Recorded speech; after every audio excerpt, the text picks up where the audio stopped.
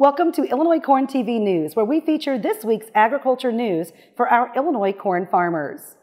The Illinois Corn Growers Association will celebrate 50 years of service to farmers on August 8, 2022 in Bloomington at the Doubletree Hotel. The Illinois Corn Growers Association was incorporated on July 30th, 1971 by John Curry of Victoria, Housel Roberts of Altona, Roland Main of Altona, John Block of Gilson, and Donald Love of Galva.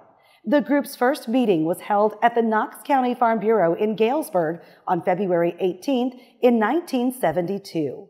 Since then, the Illinois Corn Growers has a long history of advocating for Illinois corn farmers on a myriad of issues. In the 70s, ICGA farmer leaders were focused on membership drives, building county corn organizations, considering an Illinois corn checkoff program, and understanding trade. Today, the conversations are more about infrastructure, such as locks and dams, ethanol policies, environmental regulations, pesticide registrations, and Farm Bill program development. The farmer leaders focus on environment and conservation practices more than they needed to in the 70s. But they talked a lot about farm prices and interest rates in the 1980s. They talked about locks and dams in the 1990s. They talked about renewable fuel standards in the early 2000s. And they talked about crop insurance in the 2010s.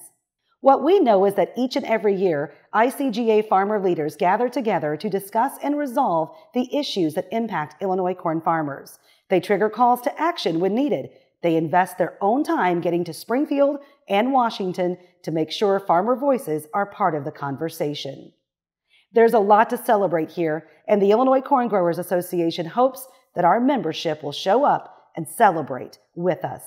The ICGA anniversary celebration is August 8th, 2022, at the Doubletree Hotel in Bloomington, Illinois. Cocktails are at 5 p.m. Dinner and the program are at 6 p.m. RSVP by July 25th to ilcorn at ilcorn.org.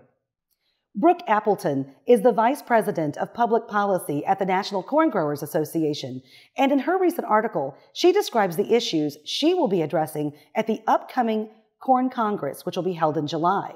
This upcoming Corn Congress will be held in our nation's capital July 11th through 14th. It provides us an opportunity to take passionate and deeply knowledgeable corn grower leaders to Capitol Hill in mass and get them in front of some of Washington's key decision makers.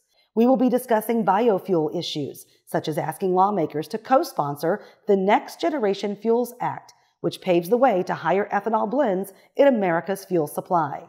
And as the International Trade Commission debates duties on nitrogen fertilizers, and the Environmental Protection Agency considers restrictions on atrazine, corn grower leaders will be talking about how critical it is that farmers have access to the tools necessary to continue to do more with less. You can read Appleton's entire article at ilcorn.org to learn more. And finally, the USDA released its 13th crop progress report Monday afternoon on June 26th 4% of corn is silking compared with 4% for the previous five year average. The condition of the corn crop was rated 67%, good to excellent, and 8% poor or very poor. You've been listening to this week's Illinois Corn TV for Agriculture News Summary. For more Illinois corn news, visit our website ilcorn.org or subscribe to our YouTube channel for more weekly news. Next week, we'll talk about the international groups the Illinois Corn Growers Association will be hosting in the near future. Have a great week.